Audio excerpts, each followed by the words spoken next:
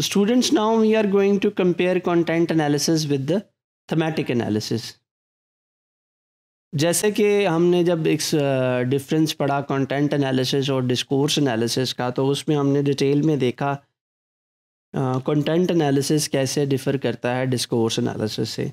तो major differences तो वही हैं और थमेटिक एनालिसिस एक क्वालिटेटिव रिसर्च डिज़ाइन है और हम इसको जब इंटरव्यू कंडक्ट करते हैं, उससे जो डाटा हम कलेक्ट करते हैं, उसको जब हम एनालाइज करते हैं तो उसके लिए हम एक एज अ मेथड यूज़ करते हैं thematic analysis thematic analysis case study में भी हो सकता है थमेटिक एनालिसिस आपका फिनोमिनोलॉजी में भी किया जा सकता है थमेटिक एनालिसिस आपका जो है वो डिस्कोर्स एनालिसिस का भी समहाउ हिस्सा बन सकता है, क्योंकि ये एक एनालिटिकल टेक्निक है। कुछ लोग इसको रिसर्च डिज़ाइन भी समझते हैं।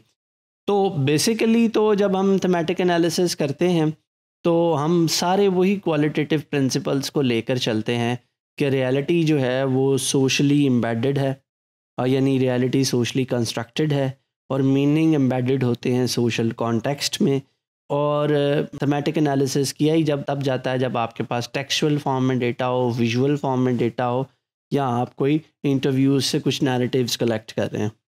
और जैसा कि इसके नेम से ही ये सेल्फ रिफ्लेक्टिव है कि ये थमेटिक एनालिसिस है तो थमेटिक एनालिसिस में बेसिकली हम थीम्स के प्रोसीजर से गुजरते हैं कि हम थीम्स कैसे बनाते हैं।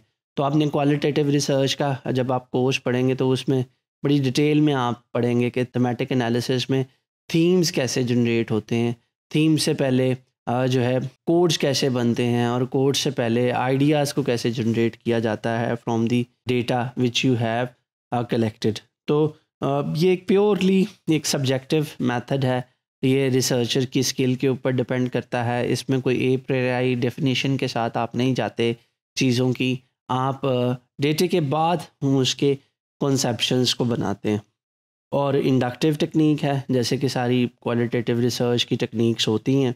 सब्जेक्टिव है कि ये अब आप किसी भी कॉन्सेप्ट को एक रिसर्चर कैसे डिफ़ाइन करता है, वो अपने सोशल कॉन्टेक्स्ट में, जैसे इनक्वलिटी है पावर्टी है वायलेंस है तो ये बड़ी सब्जेक्टिवली डिफ़ाइन होती हैं इस तरह के एनालिसिस में।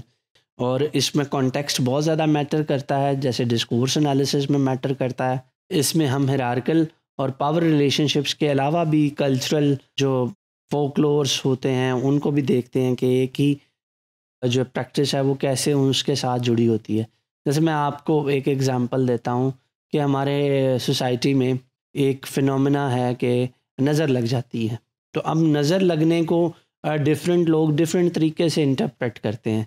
कुछ कहते हैं कि ये जो है, नज़र एक ऐसी चीज़ है कि जो कि आपके ऊपर बुरे असरात डालती है। इसकी बात हुई हुई है दीन इस्लाम में भी। कुछ लोग इसको टोटली एक साइकोलॉजिकल चीज़ समझते हैं कि ये सिर्फ़ हम अपनी जो प्रीहेंशंस हैं, उसको दूर करने के लिए हम कुछ ऐसे एक्ट करते हैं। और कुछ इसको साइंस के साथ पॉजिटिव एनर्जी और नेगेटिव एनर्जी के साथ एक्सप्लेन करने की कोशिश करते हैं। तो ये इस तरह से जब हम कोई भी थमेटिक एनालिसिस कर रहे होते हैं तो उसका कॉन्टेक्स्ट समझने की कोशिश करते हैं। रिलायबिलिटी इसमें भी है। हम यही कोशिश करते हैं, जब हम थमेटिक एनालिसिस कर रहे हैं तो हम उसको ये इंश्योर करें कि हम एक ऑनेस्टली जो है डाटा कलेक्ट करें और सारे जो रिसर्च एथिक्स के प्रिंसिपल्स हैं वो फॉलो करें। और रिफ्लेक्टिविटी इसमें भी हाई होती है, यानी आप अपनी position as a researcher explain करते हैं। तो बेसिकली ये एनालिसिस की जो टेक्निक है थमेटिक एनालिसिस ये डिस्कोर्स एनालिसिस जो है फ़र्क इसका ये है कि इसमें आप जो है सिंटैक्स से ज़्यादा आप उसके कॉन्टेक्स्ट पे फोकस करते हैं। और कंटेंट एनालिसिस दूसरी तरफ़ से हम उसमें फ़िक्स्ड डेफिनेशंस और फिक्स्ड कोड स्कीम के साथ जाते हैं और वो एक प्रॉपर रिसर्च डिज़ाइन है क्वांटिटेटिव रिसर्च मेथडोलॉजी का इसलिए वो, वो उसमें बहुत सारी चीज़ें जो हैं वो प्री डिटर्मेंड होती हैं। तो ये कुछ कुछ डिफरेंसेस मैंने आपको बताए हैं कि कंटेंट एनालिसिस और थमेटिक एनालिसिस में क्या होते हैं। बाकी आप थमेटिक एनालिसिस को और क्वालिटेटिव कंटेंट एनालिसिस को क्वालिटेटिव रिसर्च मेथडोलॉजी के कोर्स में बड़ी डिटेल के साथ पढ़ेंगे।